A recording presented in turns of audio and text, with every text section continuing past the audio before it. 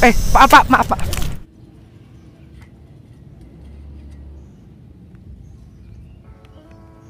Halo, selamat pagi. Kembali lagi di Denko Channel. Kedatangan barang baru lagi sekarang adalah salah satu drone yang kemarin sempat viral. Penjualannya kalau aku lihat di seller-seller Tokopedia atau bahkan di luar itu wah keren banget, Bro. Orang-orang pada berbondong-bondong beli drone ini. Nah, untuk ini bisa dikatakan upgrade dari versi yang lama yaitu Viswo XS812. GPS drone harganya sekitar satu setengah atau berapa gitu. Link pembeliannya aku taruh di deskripsi video di bawah. Private EY private EY ini bisa dikatakan adalah kubang drone karena itu ini ujungnya ini kalau kalian lihat secara langsung drone-nya persis banget dengan kumbang dan kameranya dia kalau nggak salah ini versi yang 2 megapiksel di sini kosong terus di atasnya juga kosong nah ini tulisannya Visuo. Visuonya warnanya gold karena ini versi GPS versi terbaru dari Visuo. Dan ada aplikasinya juga di Play Store dan App Store.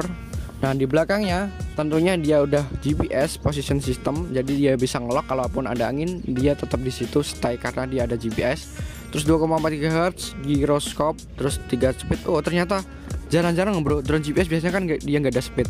Tapi Viso ini dia tetap ada speednya. Jadi fitur lama dia nggak hilangin terus bisa flip juga ternyata. GPS tapi bisa flip. Coba sebutin satu drone GPS tapi bisa flip. Kayaknya aku belum nemu deh selain Viso ini. Terus uh, dia ngecasnya bisa menggunakan USB juga. Built-in kamera pastinya dan auto hover alias attitude hold. Head mode oh head mode masih ada juga bro. Fitur-fitur lama yang kalau drone lain itu pasti dihapuskan untuk versi GPS nya tapi visual tetap dikasih yaitu tiga ini kecepatan terus flip dan tentunya dia head mode. Beda banget emang visual dari yang lain. Dia bisa dikatakan pionir untuk kamera 2,4 GHz yang bagus. Nah ini yang sekarang adalah versi yang 5 GHz dan tentunya harusnya ya kamarnya bakal lebih bagus daripada yang versi lama. Nggak perlu lama-lama langsung di unbox aja. Oh iya. Us udah kosong. Dan ini ada drone-nya langsung oh di sini ternyata ada slot juga untuk uh, kan biasanya kalau visual itu ada beberapa versi yang ada baterai cadangannya dan di sini baterainya cuma satu aja karena ini versi yang satu ada drone-nya aku taruh sini aja dulu baterainya terus aku copot lagi Tuh ada remote-nya ternyata. Ya emang harus ada remote sih. Nggak ternyata. Di sini ada holder HP-nya. Di sini ada 4 propeller guard dan ada 4 baling-baling juga cadangan dan tentunya masih ada screwdriver kalau buat nyopot-nyopot ini. Aku taruh sini. Ada USB charger buat ngecas si baterainya. Kalian bisa menggunakan adaptor atau bisa menggunakan power bank, terserah kalian. Terus di sini ada remote-nya. Nah, remote-nya ternyata sekarang gede ini seukuran bisa dikatakan lebih gede ini daripada si punya MJX. Tapi untuk bobotnya sih lebih berbobot punya MJX. Manual book ini sebenarnya sangat penting. Jadi kalian kalau kebingungan gimana sih ini cara terbangnya, terus gimana sih uh, step-stepnya untuk nerbangnya tuh gimana? Kalian bisa baca buku manual ini. Kalau kalian cari di YouTube nggak bisa ngejelasin dengan sempurna mungkin pasti ada poin-poin yang terlewatkan kalau di video YouTube kalian bisa langsung cek buku manual ini seperti ini close up aja langsung ke remote-nya jadi di sini pasti remote-nya berbeda dari versi yang lama kalau aku lihat sih ini buat trimming ini buat trimming ini juga trimming trimming biasanya kalau drone GPS tuh gak ada trimming bro tapi visual masih tetap menyertakan versi yang lama ke sini jadi gak ada yang dihapuskan malah eh, pembaruan yang bisa dikatakan wow Nah kalau ini ada tag video dan tag foto. Ini juga trimming bro. Ini trimming kanan kiri. Ini trimming juga buat ini. Ini juga trimming buset. Keren keren. Nah di sini juga ada buat ini ngasih slot buat kasih kalung ke leher jadi bisa digantungin remote-nya. Nah di depan sini dia nggak ada antenanya cuma pajangan doang ini. Dan ini ada tempat buat holdernya. Sementara baterainya dia menggunakan ah dia menggunakan baterai AA 4 buah jadi nggak perlu terlalu banyak. GPS ini nggak tahu kenapa ada tulisan GPS di sini apakah di dalamnya built-in GPS atau gimana? Aku juga nggak tahu. Nah di sini itu orbiting untuk uh, orbit fitur orbit kalian tinggal pencet ini nggak perlu lewat aplikasi jadi pencet ini maka drone-nya akan otomatis orbit. Tapi orbitnya apakah seperti uh, drone yang GPS pada umumnya jadi dia bisa muter ngelilingin kita gitu? Atau orbit yang gimana? Ntar aja dicoba. Ada tombol speed juga seperti yang ada di dusnya tadi. Ada tiga kecepatan satu dua dan tiga. Di sini ada fitur stop. Jadi fungsinya kalau dalam keadaan darurat alias kalian bingung mau ngapain pasti kalau ada kejadian apa-apa pasti kan kagok. Nah kalian bisa refleks terus pencet ini. Jadi fungsinya pas kagok kayak tadi ini pencet dan tahan. Drone-nya akan otomatis jatuh tapi seperti itu sebenarnya lebih bagus daripada drone-nya harus uh, nyangkut di pohon atau di mana gitu. Mending pas kagok kalian hilang orientasi atau apa langsung pencet aja ini. Oh ya for your information juga. Ya yes, buat info juga. Drone kayak gini tuh kalau jatuh uh, sekitar 5 meter 10 meter masih aman lah. Nggak akan ada kerusakan karena dia bisa dikatakan bodinya solid dari remote segitu aja fiturnya dia nggak ada uh, buat gerakin gimbal karena di sini belum ada gimbalnya. Baterainya ukurannya lumayan besar di sini 1800 mAh yang diklaim berdasarkan speknya bisa sampai 15 menit. Drone-nya lumayan keren nih. Bukan lumayan keren, emang udah keren banget. Di sini full perpaduan antara hitam dan gold. Pastinya bisa di unfolding karena ini drone visual. Visual. Visual. Warnanya bro, keren. Paling suka ini nih kilauannya itu uh, mirip banget dengan kesan kumbangnya. Uh, uh, di sini ada lampu-lampu buat indikasi dan di belakangnya nggak ada lampu, lampunya depan doang. Masih seperti yang versi yang lama di sini masih menyertakan tombol untuk on off-nya. Jadi kalau pas ini masih nancap ke sini, kalian nggak perlu khawatir kalau Oh ya, jangan lupa ini ada sealnya. Nah, ada sealnya. Ini copot dulu. Jadi kalian nggak perlu khawatir kalau pas ini di sini ini nggak akan hidup. Kecuali kalian on kan baru dia akan hidup. Nah seperti ini bro. Keren bro. Oh ya langsung aku close ke yang paling berbeda dari versi sebelumnya yaitu selain ini adalah kameranya bro. Kameranya memiliki dua antena dan dia udah wifi 5 GHz jadi untuk koneksi apa namanya previewnya ke HP itu bisa lebih lancar pakai banget daripada yang versi 2,4 GHz tuh lensa kameranya seperti ini ini bisa di adjustment manual ke depan kayak gini dan bisa ke bawah kayak gini Nah ngomong-ngomong, apakah di sini masih menggunakan micro SD untuk hasil perekamannya lebih bagus? Ternyata juga ada slot micro SD. Coba dilihat. Kok nggak ada? Ada. Dia tersembunyi bro. Ini beda dari yang versi sebelumnya. Micro SD-nya ada di dalam sini. Jadi kalau mau lihat kalian harus kayak gini. Ah, tuh. Iya, yeah. mana? Bukan, bukan ini. Jadi slot micro SD-nya itu ada di belakang sini, dia tersembunyi. Dan karena uh, si kameranya sendiri bisa dicopot-copot, pastinya kalau ada yang jual spare part kamera yang versi 5 megapiksel karena ini versi yang 2 megapiksel. Kalian bisa beli modul kameranya aja dan pas penggantian kalian tinggal copot dan slowbokin lagi. Alias bisa dibongkar pasang. Itu mempermudah banget. Nggak perlu bongkar-bongkar body cukup ditarik dan pasang. Kayak gitu udah jadi. Oh kameranya bisa copot dulu keren nah yuk. Aku pasang aja lagi. Seperti ini. Kalau kondisi pemasangannya ntar dia akan ketutup. Nah uh. keren keren. Jarang-jarang yang drone pocket kayak gini dia kameranya bisa dibongkar pasang kayak gini. Sementara aplikasinya dia menggunakan aplikasi yang namanya XSW GPS di sini. Kalian bisa unduh di Play Store atau di App Store. Nah kalau udah kayak gini tinggal pencet kayak gini set. Dia akan masuk ke halaman utamanya. Tuh. Di sini ada fitur-fiturnya semuanya lengkap di sini Aku nggak coba di HP ini karena HP yang support 5 GHz aku pakai di sini. Oh ya ngomong-ngomong WiFi 5 GHz, kalian bisa ngecek kalau biasanya kan ada ditanya HP ku ini apakah dia bisa menggunakan WiFi 5 GHz?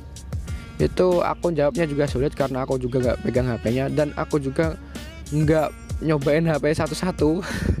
Jadi kalau ada pertanyaan gitu sulit, tapi jangan khawatir, kalian bisa langsung aja cek dengan HP kalian sendiri. Kalian bisa unduh di Play Store yang namanya aplikasi WiFi 5 GHz support. Ingat, ini cuma aplikasi buat ngecek apakah HP kalian udah mendukung WiFi 5 GHz atau enggak. Aplikasi ini tidak merubah apa pun dari HP kalian. Soalnya kemarin aku share di Facebook ada yang komen, percuma pakai aplikasi kayak gituan nggak bakal ngaruh sama HP-nya tetap nggak bisa menggunakan WiFi 5 GHz. Ya jelas lah namanya baca keterangan aplikasinya bro. Jangan langsung kalau aplikasi kayak gini terus dia bisa ngerubah. Nggak bakal bisa karena untuk koneksi sendiri itu berdasarkan hardware nggak berdasarkan software. Jadi perumpamannya seperti ini jika HP kalian yang dari bawaan kalian beli itu dia menggunakan kamera yang 2 megapiksel terus kalian unduh software dengan alih-alih menambah resolusi kameranya menjadi 24 megapiksel itu nggak bakal bisa. Karena itu mustahil karena semua udah tergantung pada hardwarenya. Begitu juga dengan wifi 5 GHz itu sendiri. Kalau hardwarenya udah mendukung wifi 5 GHz kalian tentunya pasti bisa. Nah kalau HP kalian nggak mendukung wifi 5 GHz kamu apain kamu unduh aplikasi apa pun tetap nggak bakal berjalan wifi 5 GHz nah langsung aku menuju cara kerjanya gimana? Setelah kalian unduh aplikasinya dan install kalian bisa menghidupkan wifi kalian. Dan wifi itu nggak perlu kehubung ke apa pun cukup hidupkan wifi kalian. Nggak perlu kayak ini kan terhubung itu nggak perlu. Yang penting wifi kalian hidup terus buka aplikasinya ntar akan kelihatan muncul apakah HP kalian udah mendukung wifi 5 GHz atau enggak. Sesimpel itu berhubung aku kasih infonya di dalam satu video suatu review drone dia nggak secara uh, bisa dikatakan luas mungkin aku juga akan buatkan video terpisah untuk gimana cara ngecek wifi 5 GHz nya karena pasti ada beberapa yang masih tanya gimana caranya. Karena dia pasti nggak semua orang alias sebagian besar nggak akan lihat video ini pasti ada beberapa yang ya di skip skip skip jadi pasti ada poin-poin yang kelewatan jadi saranku jangan di skip bro untuk tesnya Jangan khawatir, kali ini videonya aku akan jadikan satu karena ya dicoba kenapa enggak Langsung aja kalian lihat ke tes terbangnya. Ciao. Ya. Ya. Oke, kembali lagi di Dianku Channel. Saatnya tes terbang Visuo GPS. Eh, baterainya mana, Bro? Baterainya kelupaan tadi soalnya aku tes pakai power bank karena tadi dari rumah dia belum penuh. Nah, enaknya Visuo itu juga dia bisa dicas pakai power bank. Jadi bisa dibilang bener-bener portable, Bro. Cukup pakai power bank dan uh, colokannya yang ini Nah, langsung bisa ngecas deh. Micro SD-nya ditaruh di sini, Bro. Tuh, aku pakai 4 GB aja. Taruh sini. Oke. Dan tinggal taruh sini. Lagi dia akan terkoneksi. Terkoneksi. Oke, seperti ini aja dia akan masuk. Nah, taruh sini. Dan di unfold. Nah, oh ya ngomong-ngomong link pembelian kalian bisa langsung cek deskripsi video di bawah. Di situ aku kasih linknya Oh ya ngomong-ngomong sorry juga kalau suaranya ada suara angin Walaupun ya ini aku udah kasih spons mungkin masih kedengeran suara anginnya Jadi lumayan mengganggu Jadi mohon maaf kalau ada yang jelek suaranya. Anginnya karena tadi aku ngetes B5W Anginnya nggak sekencang ini Tapi sekarang menjelang malam malah anginnya tambah kencang bro. Langsung coba on Dan ini on. Siap. Aku cari wifi nya terlebih dahulu di sini.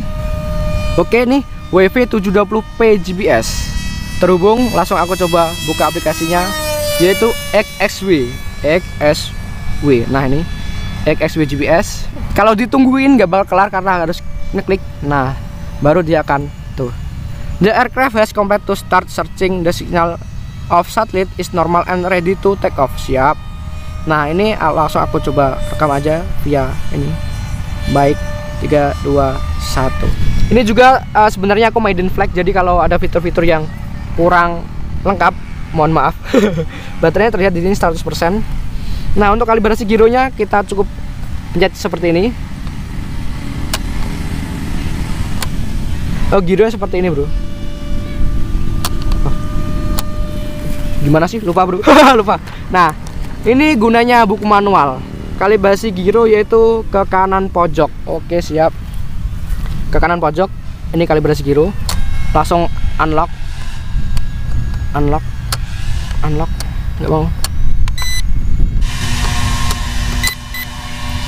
oh oke okay, tahu Hah, kampret ternyata uh, kalau mau ngonekin si drone ini harus ke atas ke bawah dulu jadi nggak otomatis seperti yang versi sebelumnya nah kayak gini kan on ini harus ke atas ke bawah nah pantas dari tadi ini belum solid solid oke. Nah, langsung kalibrasi giro. Nah, ini dia berkedip kalibrasi giro. Kalibrasi kompas tinggal pencet.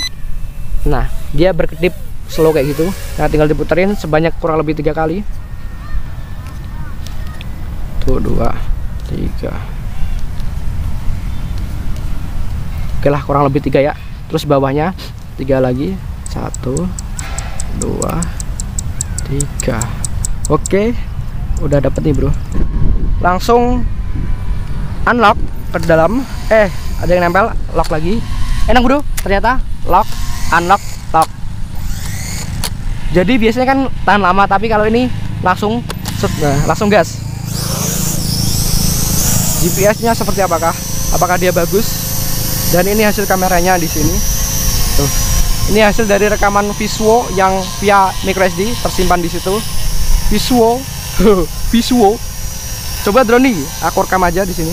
Eh foto dulu foto dulu. Satu dua tiga. Ya. Atau via di sini ada.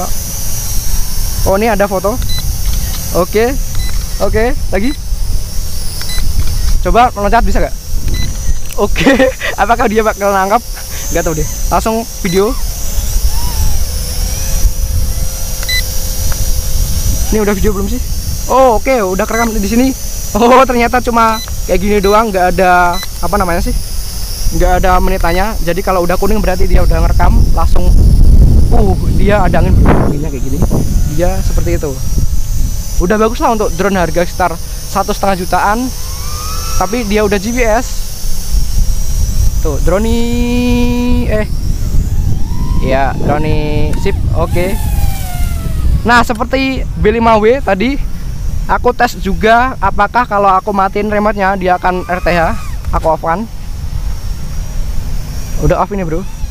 Apakah dia akan RTH walaupun masih connect sama remote uh, ini connect sama oh iya RTH bro tapi RTH nya agak lama tadi walaupun masih connect sama HP tapi dia tetap RTH dia naik terlebih dahulu dengan tanda lampunya kedip-kedip mungkin akan sedikit kelihatan karena di sini juga udah lumayan malam juga Oke, okay, visio visio visual GPS bro.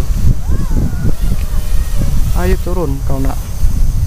Nah, gibarnya ini nggak bisa dinaik turunkan lewat si remote-nya. Jadi fix kalau mau turun ya turunin. Lama bro. Oke, tadi ternyata dia masih mengira-ngira. Tadi take up-nya dari sini, apakah dia turunnya juga dari situ? Ah, oh kenceng banget. Oh, tadi kenceng tapi setelah segini dia akan otomatis berhenti. Dan tombol RT nya di sini berhenti. Nah langsung aku coba. Eh pak pak maaf pak. Maaf pak agak apa ya hati-hati juga bro. Tadi kena bapaknya. Karena nggak sengaja tadi kan dia hover. Terus tiba-tiba dia turun sendiri karena tadi aku gas nggak bisa RTH nya masih aktif ternyata tadi. Untung beraset jadi gak berasa bapaknya juga baik. Langsung memaafkan alhamdulillah lah. Langsung coba take off lagi. Nggak ada tahu take off bro di sini. Kok masih ini? Kedip-kedip. RTH nya matiin. Oke udah mati. Langsung unlock oh iya belum hidup belum aku konekin oh pantas oke ngerti karena tadi disconnect sama remote nya jadi dia turun kayak gitu. Makanya tadi aku kendalin nggak bisa. Ah lupa lupa lupa. Oke sorry sorry kalau lupa. Karena lupa itu biasa. Semoga jadi kerekam dulu soalnya ini nggak kerekam coba aku rekam lagi. Cat pencet tahan. Oke dia udah ngerekam. Siap dan arming dan gas. Dia baterainya 380 80-an persen. Nah coba aku uh, coba fitur selanjutnya itu follow me. Jadi pencet. Nah. Eh apakah follow me? Bener? Apakah dia follow me? Loh aku ke sini bro. Bukan ke sana dia follow me atau follow? Follow.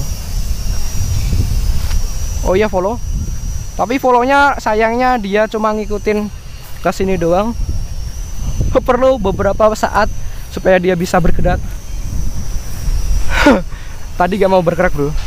Oke dia udah mulai ngefollow aku walaupun masih tersengah-sengah dan ternyata juga kalau dalam fitur follow kalian nggak bisa mengontrol drone-nya.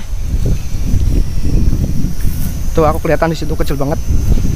Dan dia juga mulai mengfollow aku oke. Okay. walaupun aku di sini bro frame-nya harusnya kan frame-nya di tengah. Tapi nggak apa-apa ya namanya drone yang murah GPS murah itu pasti ada kekurangan. Jadi jangan cari yang bagus banget yang harga 10 juta lebih bahkan 20 juta masih aja ada kekurangan. Apalagi yang ini cuma sekitar 1,5 jutaan. Langsung aku matiin fitur ini. Follow me. Dan di sini oh siap. Oh ternyata setelah volume habis dia akan muter bro. Nggak tahu muternya kenapa nah di sini juga ada fitur orbiting alias dia tadi kan volume sekarang orbit. Kalau orbit dia akan muter juga tapi poinnya aku coba pencet orbit. Oh dia naik ke atas dan wih ngorbitnya ke mana bro? Lo lari ke mana?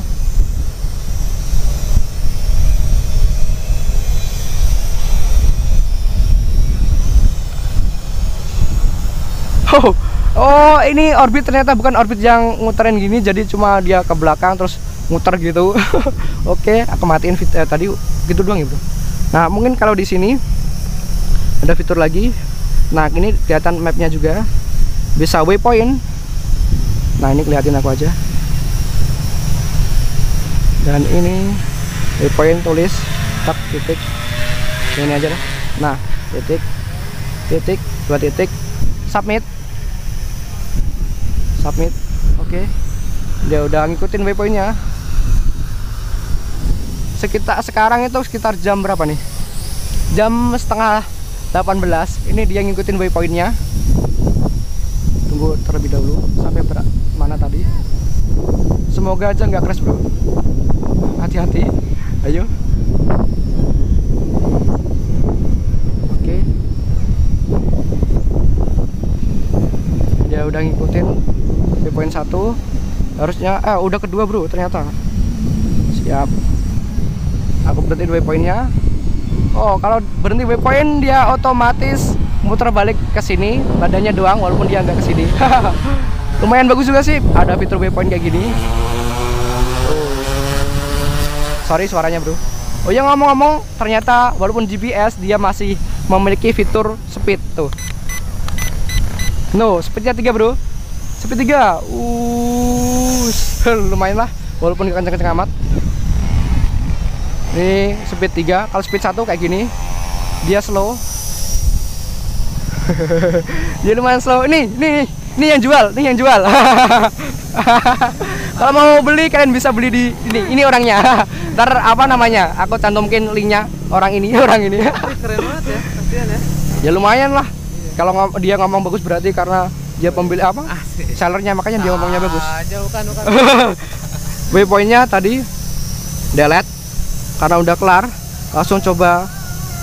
Kayak gitu dong ya bro kayaknya bro. Oh iya cuma ada dua yaitu waypoint dan ada tiga sih sebenarnya tadi yang orbit tapi orbitnya nggak tahu tuh kenapa. Coba aku orbit lagi lah orbit. Dia naik. Naik ya. Iya naik. Dan dia muter. Muter kayak gitu doang terus ke depan terus muter lagi bukan orbit pada aku tapi dia orbit sendiri. Nggak tahu tuh tuh. Habis gitu dia akan muter lagi. Mungkin palanya mas dia yang diarahin. Tuh. Oh iya benar ya. Gitu doang orbitnya. Oh, gitu tapi ya walaupun begitu doang yang namanya drone harga murah sekitar 1,5an jadi jangan berharap banyak. Pasti ada plus dan minusnya. Kalau mau sekalian bagus ya itu tadi yang seperti aku ngomong tadi. Oh dia kok turun bro?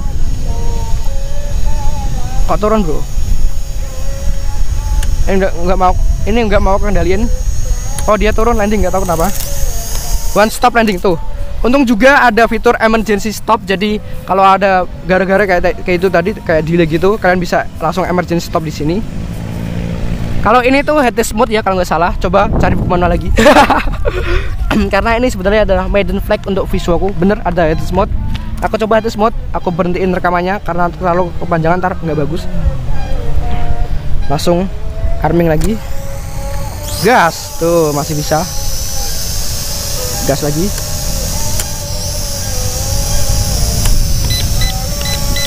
Nah kecepatan tiga bro. Namanya dia juga kayak udah mulai down ya. Nggak tahu deh. Udah gak mau digas bro. Kayaknya dia udah bener-bener habis ya. Coba aku turunin aja turunin. Oh sorry sorry. Terlalu keras. Coba aku restart apakah dia akan bisa terbang lagi? Aku matiin ini. Dan aku copot. Matiin aja di sini. Off. On. Dan cari wifi nya lagi di sini. Aku hubungin lagi ke remote. Wifi. Nggak seperti biasanya jam segini biasanya itu matahari masih terlihat jelas tapi di sini kayaknya udah malam banget ya bro wifi nya belum muncul. Oke udah dapat wifi 720p gbs udah terhubung swipe up dan tuh gbs oke. Dan apakah perlu kalibrasi? Coba kalibrasi lagi aja deh. Buat jaga-jaga. Kalibrasi kompas. Satu dua tiga. Sudah satu dua tiga. Oke udah. Udah selesai dan langsung satelitnya itu S6 nggak tahu berubah berapa satelitnya. Oh ya ngomong-ngomong masalah aplikasi di sini kalian bisa lihat juga speednya jarak altitude dan ini roll PID alias speed roll speed yaw. Kalian bisa lihat di situ. Lambung dan gas. Oh ya tampaknya dia emang udah agak keberatan karena baterainya sebenarnya mau habis. Tapi dia masih bisa. Coba aku foto lagi. Tag foto. Ya oh udah, udah gak mau kayaknya bro. Oh ya ngomong-ngomong untuk tes jarak itu kayaknya mungkin aku kan buatkan video terpisah. Tapi itu kalau kalau ya ini kalau sempat aku akan buatkan terpisah. Tapi untuk video kali ini mungkin ya aku coba fitur-fiturnya tadi. Coba aku rekam lagi. Aku mau POI manual lah. Eh salah. Satu lagi. Coba POI manual POI manual bisa nggak bro? Nah kayak gini. POI manual. Yo.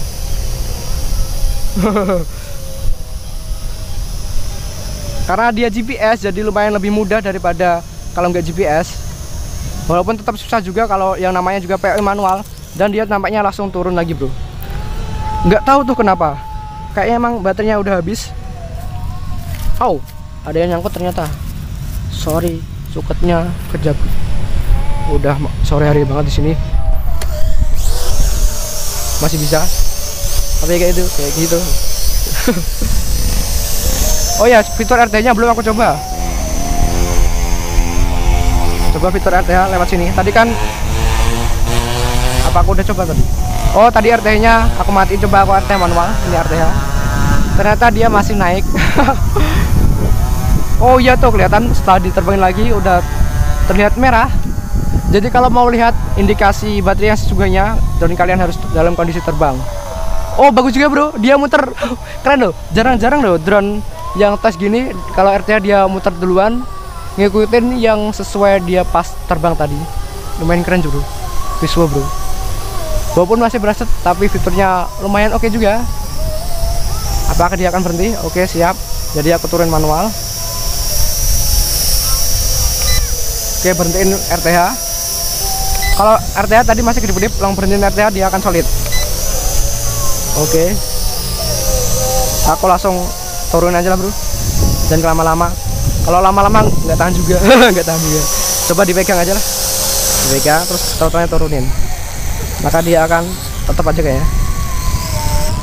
Oke ternyata harus tahan agak lama. Oke udah selesai video tes terbang Visuo XS812 GPS gimana menurut kalian? Apakah bagus? Oh yang ngomong-ngomong tadi kameranya tuh bisa di tilt down manual. Lupaan bro. Tuh kameranya bisa di tilt down.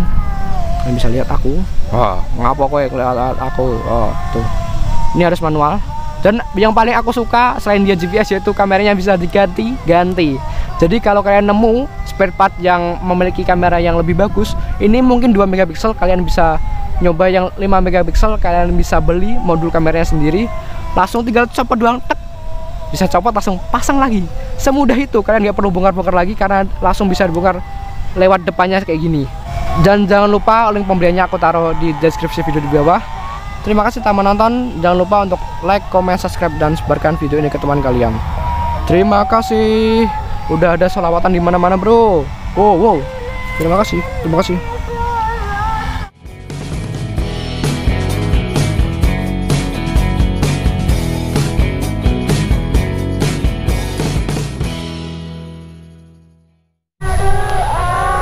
Oh yang ngomong-ngomong aku mau tanya apakah ada yang mau aku upload video unboxing di HP karena ini salah satu HP impian bro.